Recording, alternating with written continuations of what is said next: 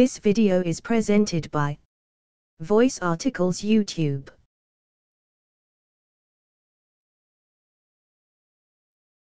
There's good news for people at risk for limb amputation due to complications from diabetes. A new laser procedure has been shown to be highly successful in salvaging limbs, thus providing a new alternative in the fight against amputation.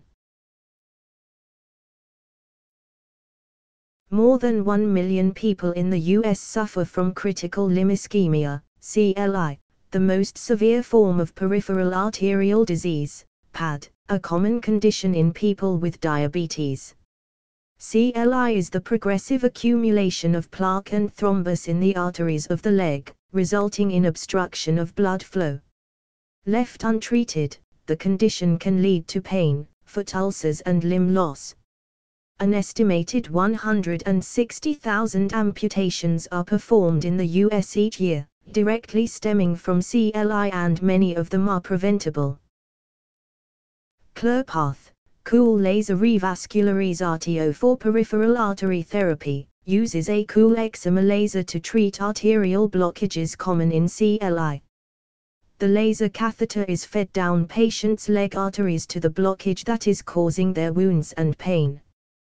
CLiRpath vaporizes the blockage, allowing blood flow to resume, which may increase the chances that wounds can heal limbs can be saved and patients' psychological and physical well-being can be improved.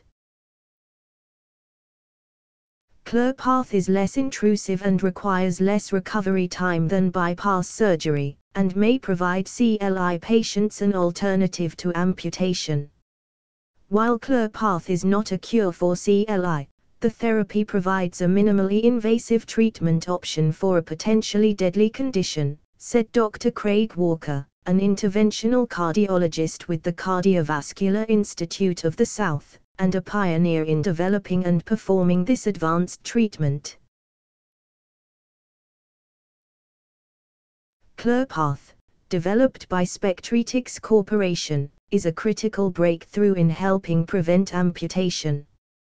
The procedure resulted in a 95% limb salvage rate for patients surviving to six months in a clinical trial, the LAS ICTR registry.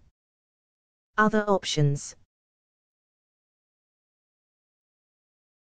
Conventional OLASA treatments for blocked arteries include angioplasty, bypass surgery and medication. Angioplasty on its own is sometimes inadequate as a standalone treatment.